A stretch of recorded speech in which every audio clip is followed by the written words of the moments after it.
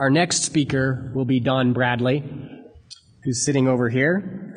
And uh, Don is a writer, editor, and researcher on Mormon origins. And he has some fascinating things to say about Mormon origins. For those of you who know him, man, it's a treat to talk with him about it. He is finalizing his master's degree, writing his first book titled The Lost 116 Pages Rediscovering the Book of Lehi. I'm planning to pursue a doctorate in religious studies. Don is also an avid runner and hiker and a single father. He will be speaking on Joseph Smith and the technologies of seership.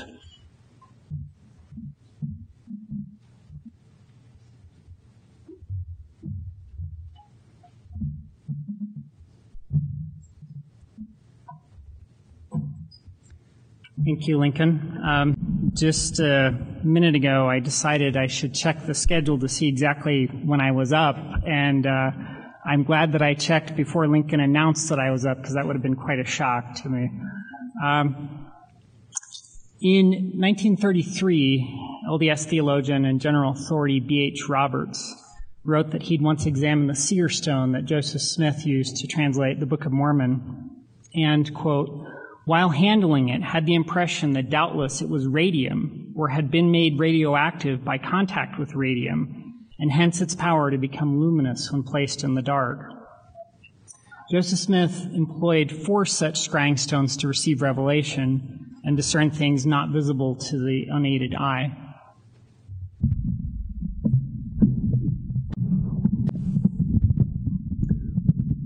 Might need to make better use of the sound technology here, I'm being told. Um, four such scrying stones, a semi-transparent white stone, two transparent crystals that comprise the lenses of the ancient Nephite interpreters or Urim and Thummim, and the what they what people have referred to as his chocolate colored stone that reportedly shined in the dark while he translated the Book of Mormon. While Roberts believed the stone Smith used for translating possessed special properties, more recent Latter day Saint interpreters like Brant Gardner have downplayed the stone, confining it to the psychological role of helping Joseph Smith induce a state of trance or high concentration. What did Joseph Smith think?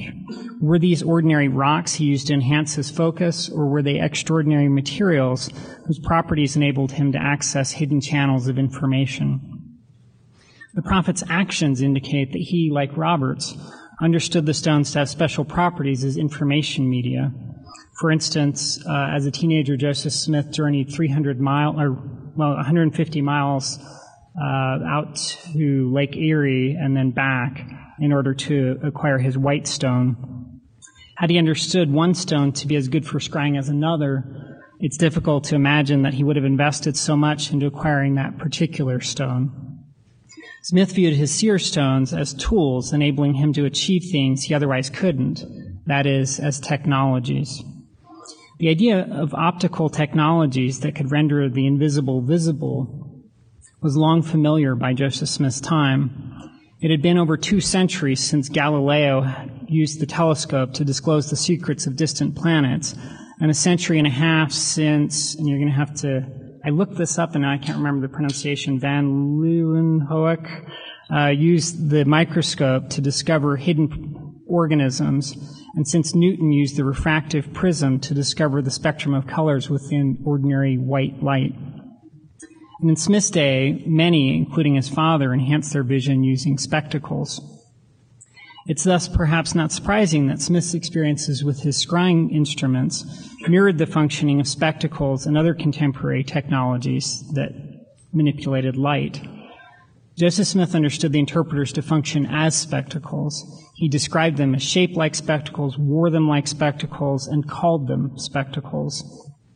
The way Smith experienced images through the interpreters also closely paralleled the functioning of another optical technology of his day, Smith's early confidant, David Whitmer, reported that when Smith used the spectacles to translate the Book of Mormon's golden plates, the image of a character in its English translation would, quote, appear on the lenses. Minister Truman Coe provided further details after hearing the prophet describe the process in Kirtland in 1836. Quote, by putting his finger on one of the characters and looking through the Urim and Thummim, he would see the import written in plain English on a screen placed before him. Kind of like this, I guess. Um, the interpreter's mechanical details, as relayed through Whitmer and Coe, have it functioning much like a slide projector here, or more familiar to Joseph Smith, a 19th century slide lantern. And here's a place where I had intended to use technology, uh, have images of slide lanterns. So basically, they're lanterns um, where, of course, there's a candle or source of light in the middle, and then um, there's there are things that are kind of like little stained glass windows on the edges so that when the light passes through, it, it casts an image onto a wall.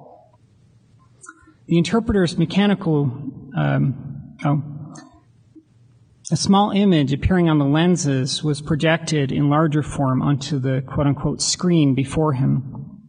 While the form and function of the interpreters evoke the familiar technologies of spectacles and slide lanterns, the operation of Smith's other seer stones evoke one of the day's emerging technologies. Understand the connection, it's first necessary to know that Smith typically gazed into one of these stones only after shielding it from external light, for instance, by placing it into the bottom of his hat. With the stone in his hat, Smith would see a Book of Mormon character and its English translation written on the stone's surface, not in ink, but in letters composed of quote unquote spiritual light. Joseph Smith's practice of staring into a hat might strike us as undignified, rather like Maxwell Smart talking into his shoe. However, Joseph didn't understand himself to be looking into a hat, but as using a hat to exclude ordinary visible light so as to better perceive the spiritual light of the stone. The effect wrought by this spiritual light within the darkness was transformative. The hieroglyphs on the Book of Mormon plates were reportedly set out in black against a bright background of gold.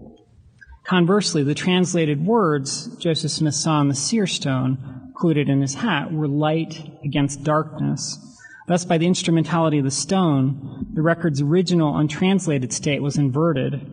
Its meaning, previously hidden in the gold plate's black characters, now stood written in strokes of light words ablaze against a black page of ambient darkness. Like the development of a negative into a photograph, transposing dark with bright, Joseph Smith's process of translation rendered, in place of opaque hieroglyphs, lucid English. In the literal etymological sense, this itself was photography, writing with light.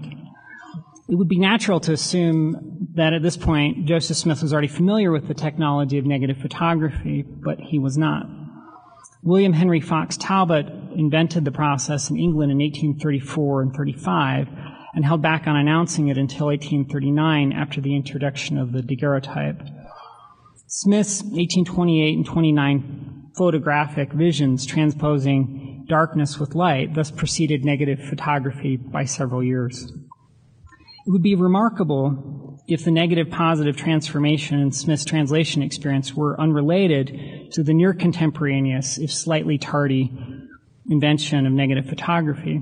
But it's clear, but it's unclear, rather, just what should be made of the parallel. Possibly, though the evidence for this that I've seen is thus far weak, negative photography had antecedents that Joseph Smith would have known of, and his experience was tailored to imitate these or to generate a freewheeling theological speculation, perhaps revelation was delivered to Smith in a way that anticipated photonegative technology, either as a sign to the seer and his associates, or to help teach them that God uses technology like, but exceeding, what humankind develops. Whatever the answer to that riddle, we've seen that Joseph Smith used seeing instruments functioning in ways similar to both the familiar and the emerging technologies of his time. But if Joseph Smith understood the seeing instruments themselves as technologies, how did he believe they worked in scientific terms? In interviews with Smith's Harmony, Pennsylvania neighbors, Frederick G. Mather gathered the following information about his use of seer stones, or as the locals like to call them, peak stones. Quote, when peaking, he buried his face in his white stovepipe hat, within which was the peak stone. He declared it to be so much like looking into water that the deflection of light sometimes took him out of his course. And uh, Joseph Smith's brother-in-law, Reuben Hale, is supposed to have made similar statements.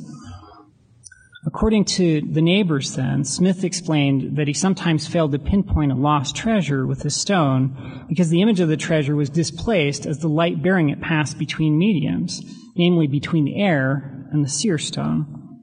The correct name for this phenomenon, which we commonly encounter when an object at the bottom of a pool appears in a false location, or when a straw, straight straw seems to bend in a glass of water, is not deflection, but refraction. On Smith's explanation, the treasure was not where it had appeared through a stone because of how the light refracted when it entered the stone. However interesting this may be as a study in rationalization, it's much more interesting as a study in Smith's understanding of the spiritual light conveyed through his seer stone. To account for his scrying failures in this way, Joseph Smith must have understood the light focused by the seer stones as subject to the same laws of optics as ordinary visible light. To Smith, then, the spiritual light of his scrying was not an incomprehensible spiritual substance, a supernatural substance, rather, but a form of natural light, not visible to the unaided eye. What we learn from Smith's understanding of this light and of his seer stones is that the aspiration to interpret divine action in scientific and technological terms is not new with 21st century Mormon transhumanists. It was already a century old when B.H. Roberts offered his radioactive interpretation of Smith's stone. Scientific and technological interpretations of Mormonism are as old as Mormonism itself. The attempt to understand experiences of divine action in early Mormonism in terms of technology and scientific principles began contemporaneously with those experiences. Joseph Smith, while acting as seer, speculated on the scientific and technological basis of God's revelations to him, setting a precedent for such interpretations of divine action in Mormonism today. Mormonism is distinctive, if not unique, among the theistic religions in its relationship to science and technology. Unlike other theistic faiths, Mormonism understands God not as supernatural, but as an integral element of the natural order, implying that divine powers can eventually be explained in scientific and technological terms and therefore acquired by others besides God. While other theistic faiths have modern thinkers who will sometimes speculate on God's use of natural law, Mormonism has a founder who believed God communicated with him via technology. Naturally, the horizons of Joseph Smith's technological imagination were bounded somewhat by his time, but as one who speculated that God gave revelation by advanced technology, the founder of Mormonism himself would have made a fitting speaker at the Mormon Transhumanist Association conference. Can we similarly imagine Muhammad addressing an Islamic Transhumanist Association conference, or John Calvin keynoting the annual conference of the Double Predestinationist Transhumanist Association?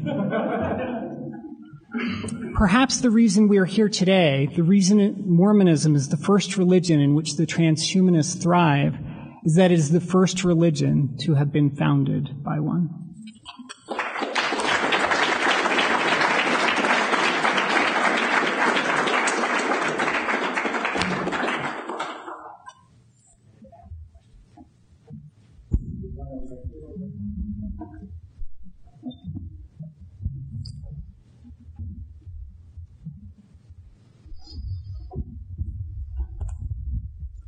As you were starting out, and, and perhaps uh, your, the rest of your speech kind of answered this already, but I was thinking uh, of the question how would you mesh um, this idea that the seer stones were technology that translated the Book of Mormon for Joseph with the incidents of, uh, was it Oliver Cowdery's attempt and fail, failure to translate with them?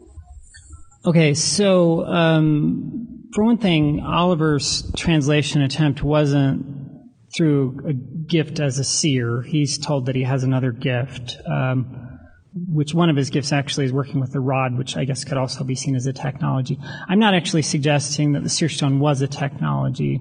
Um, rather, I'm, I'm arguing that based on Joseph Smith's use of the phenomenon of the refraction of light to explain uh, some of what he experienced with the seer stone, he was viewing it in scientific and technological terms.